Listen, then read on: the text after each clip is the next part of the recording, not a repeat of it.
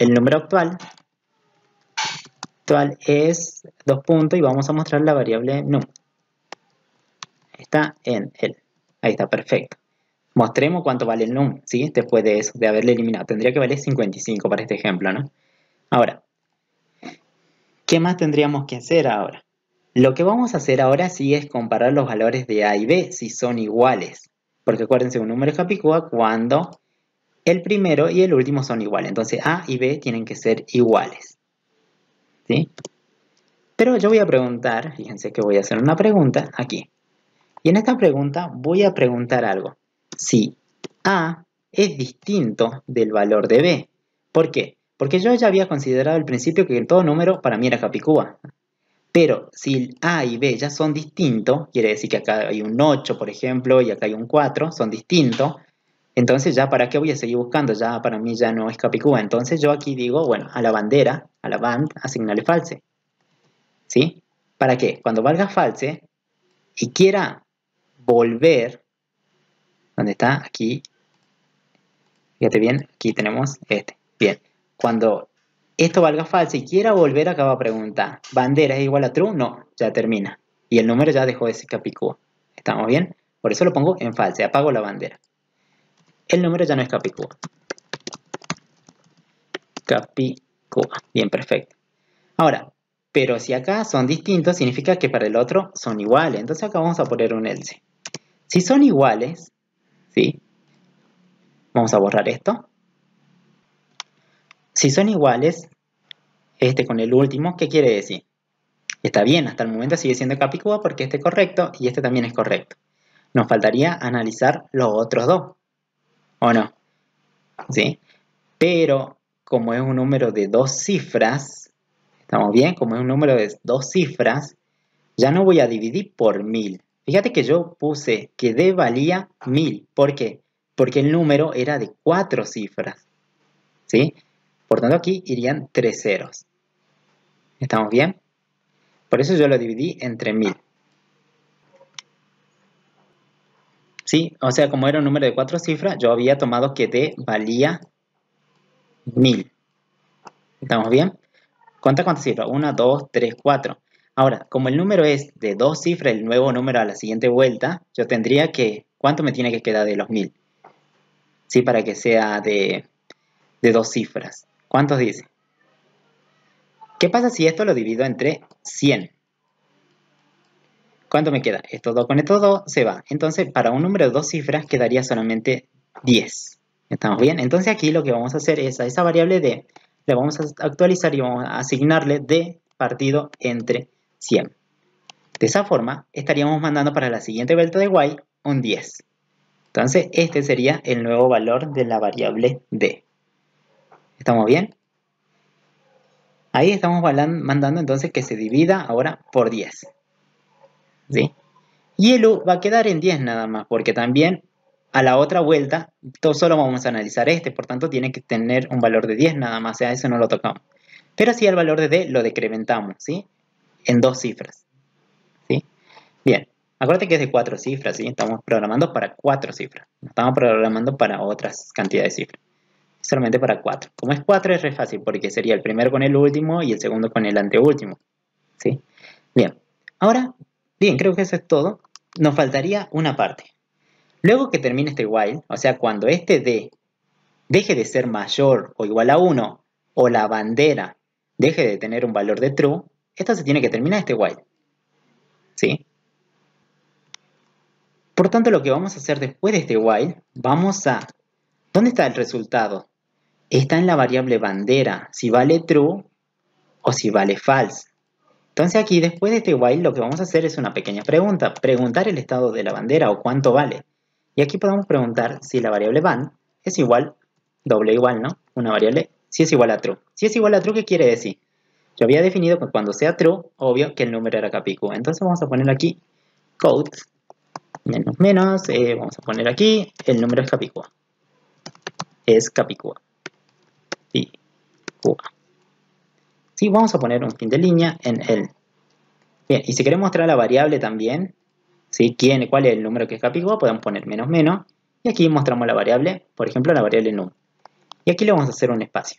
aquí diría la variable tanto, eh, la variable tanto, por ejemplo, 455, 4554 es un número, queda mejor, ¿sí? un número capicúa. En caso que no se cumpla este, vamos a poner un mensaje diciendo solamente codes. Eh, vamos a copiar este que tenemos aquí, este code, lo ponemos aquí, esta parte. Y vamos a preguntar, aquí va, aquí vamos a mostrar ya directamente el número no es, vamos a poner bien grande, no es Capicúa. Bien.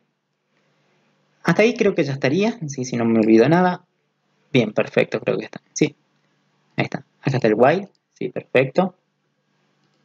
Aquí está negativo, aquí preguntamos si es de cuatro dígitos. Acuérdate que aquí preguntamos si es de cuatro dígitos, lo hace chiquito.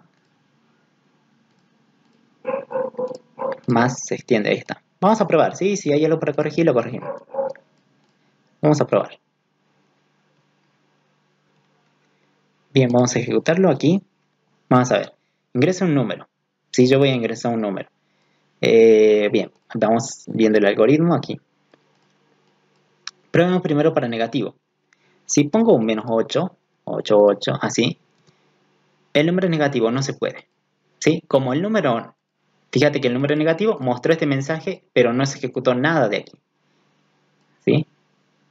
Pero en sí, fíjate que sigue más abajo, aquí. No se ejecutó nada. Me volvió a pedir el número. Me está volviendo a pedir. No dio la vuelta todavía. Entonces yo voy a ingresar un otro número, no sé. Ingresemos ahora sí un número que esté dentro de las cuatro cifras. ¿sí? Por ejemplo, el que veníamos trabajando era 4, 5, 5, 4. ¿Sí? Y acá me dice, mira. Bueno, acá aparece 4, 4, que es, acuérdate que habíamos mostrado esta parte, cuál es el valor de A y B. El primero y el último. Y el número actual es 55. De este valor pasó a tener 55. ¿Sí?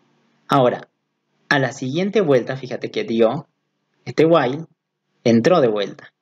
Pero ahora me muestra 5, 5, que son los valores de aquí. ¿Estamos bien? Aquí, bueno, los compara y termina. Y el número actual, fíjate que quedó con un valor de 0. ¿Sí? Bueno, y acá me dice 0 es Capicúa. Bueno, no quedaría 0, no sería 0 aquí. Y quedaría un poquito feo. No sería 0 es Capicúa, sino directamente no mostraríamos eso, ¿sí? Porque acordate que alteramos la variable, ¿no? Habíamos alterado la variable. Fíjate que el num se actualizaba en cada momento, ¿o no? Con un nuevo valor. Por tanto, num, obvio que queda con ese valor último, 0. ¿Estamos bien? Entonces aquí no estaría bueno que lo mostremos. ¿sí? Vamos a ejecutarlo de vuelta, ya lo borré. Guardan los cambios. O cada vez que se compila se guarda los cambios igual. Acá vamos a ingresar, por ejemplo, eh, bueno, 4, 5, 5, 4. Ahí está. Bueno, el número actual que habíamos puesto aquí es mostrar la variable num, ¿sí?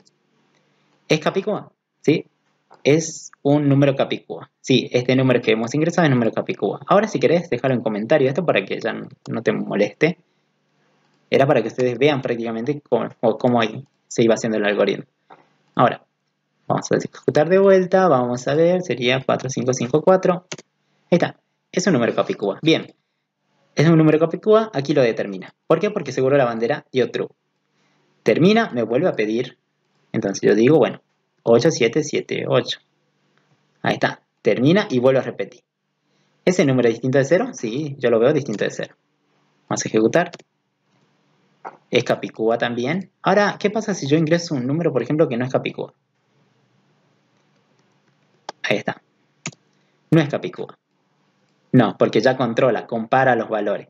Compara el primero con el último, como ya se da cuenta que no es verdadero, entonces la bandera ya no es true y directamente viene aquí y dice no, no es Capicúa.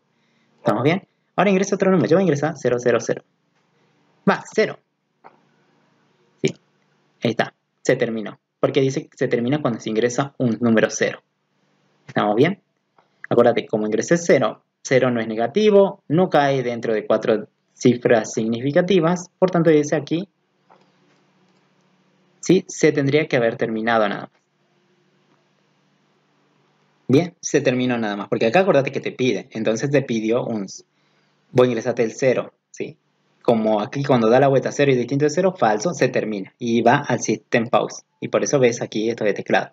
Bien, pero nos faltó probar, probar cuando sea de 3 dígitos. Vamos a ver si es de 3 dígitos. Está. No, error, es un número de, debe ser un número de 4 cifras. Bien, perfecto. A ver si ingresa, ingresa lo que vos quieras. ¿Sí? El algoritmo tiene que estar preparado. Uno de 4, este seguro no es. Uno de 2 cifras, tampoco lo es porque dice no, tiene que tener 4. Cuando ingresa el 0, prácticamente esto se tendría que terminar.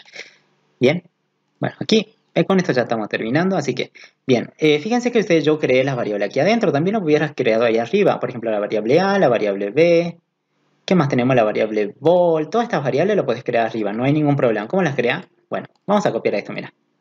La variable van, ponele, que yo la quiero crear afuera, entonces, control X, vamos a pegarla aquí arriba, Ahí está, punto y coma. La creo, entonces aquí la uso. ¿Cómo la uso? Poniendo el nombre nada más. Van. Esta variable D también, si quieren, la puede crear arriba. O esta variable A, si quieren. Después hacen ustedes lo demás. ¿Sí? Aquí la variable A está creada. Y aquí, entonces, la variable A ya no tendría que ir con el int. Ahí está. Lo mismo para la variable B. Es que yo le corto, lo pego acá arriba. Creo que se pueden agrupar también con coma. Coma B. Y aquí B. ¿Estamos bien? Ahí está. He definido dos variables enteras A y B y aquí lo estoy utilizando. Si queda un poquito más limpio el código, bueno, ustedes pueden sacarla estas dos también.